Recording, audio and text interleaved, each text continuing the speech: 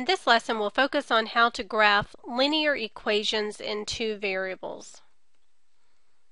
A linear equation is in the form ax plus by equals c, where a and b are real numbers, but a and b are not both 0.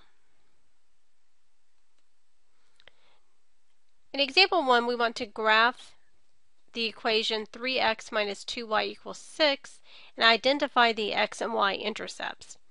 To graph any equation or function, if you don't know the pattern and what it looks like, you start by plotting points. Now the graph of a line is sufficient to have only two points because two points define a line and two easy points to find are the x and y intercepts.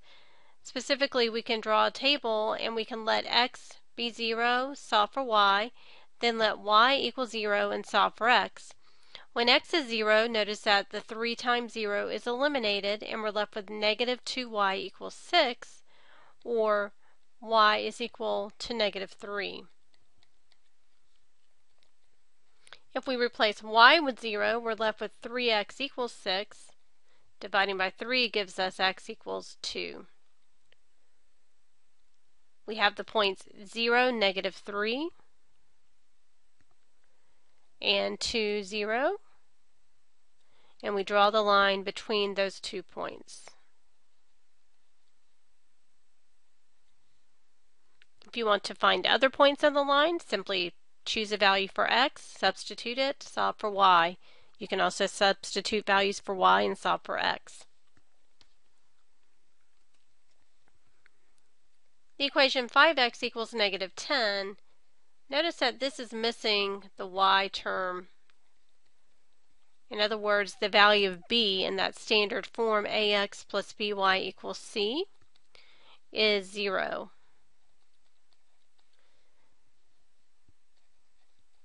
So the equation 5x equals negative 10 can be simplified by dividing each side by 5 to get x equals negative 2. The only points that satisfy this equation are ones whose x value is negative 2. The y value, because it's multiplied by 0, can honestly be whatever value you want it to be. So if we substitute in y to be 0 or 2, x will always be negative 2. Plotting those points, negative 2, 0, negative 2, 2, and drawing a line through them, we notice that this is the equation of a vertical line through negative 2 on the x-axis. So x equals a number is always a graph of a vertical line. When you think about graphing linear equations, you are plotting all ordered pairs that satisfy the equation. The only ordered pairs that satisfy the equation x equals negative 2 are ordered pairs whose x value is negative 2, which lie on that vertical line. As far as the x-intercept, the x-intercept is negative 2, 0, and there are no y-intercepts for this graph. To graph the equation y equals 2, notice that this is of the form ax plus by equals c, but the value of a in this case is 0. In other words, this is of the form 0x plus y equals 2.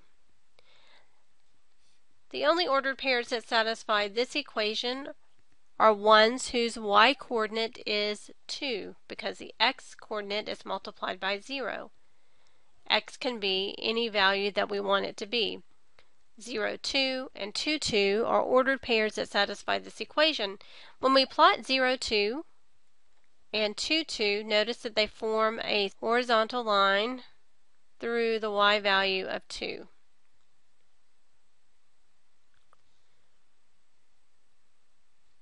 y equals a number is always the graph of a horizontal line.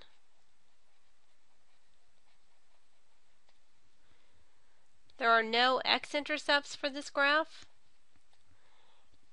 and the y-intercept is 0, 2.